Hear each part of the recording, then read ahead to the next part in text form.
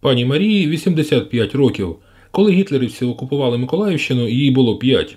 Каже, донедавна була впевнена у тому, що українці із росіянами та білорусами брати. Згадує, як мама казала їй, що на Україну завжди хтось нападав. Каже, що прийшла сьогодні до церкви без страху. Не боюся. Нема кого боятися. Україна одна. І ми повинні вважати, її любити, і ходити в церкву, і бути добрими, і допомагати друг другу. Святкову службу відправив митрополит Миколаївський та Богоявленський Володимир. Христос Воскрес! Христос Воскрес! Христос Воскрес! Ті, з ким ми поспілкувалися, розуміють небезпеку, але свідомо прийшли сьогодні до церкви. Небезпека в нашій країні вона з 14 року. На жаль, багато про це хто не знав, не пам'ятав. Ми святимо пасочки, скажімо так, посвятив я своїм бійцям.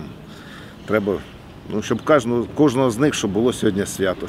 Ви знаєте, коли йдеш зараз по дорозі і дороги пусті, так дивно і, і страшно навіть якось.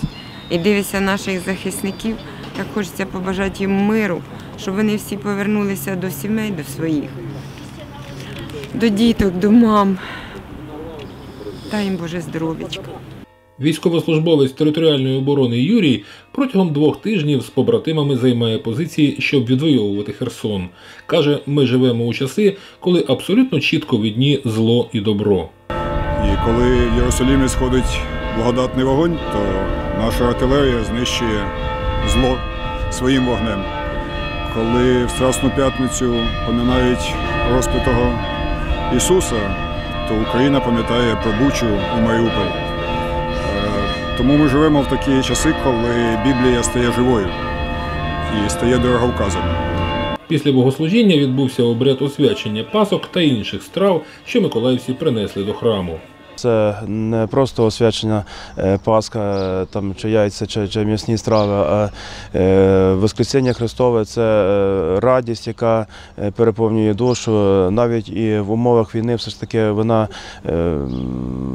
не, не зменшується. Як сказав протоієрей Роман, протягом дня до храму прийшли не менше 300 миколаївців. Федір Бондар, новини на Суспільному, Миколаїв.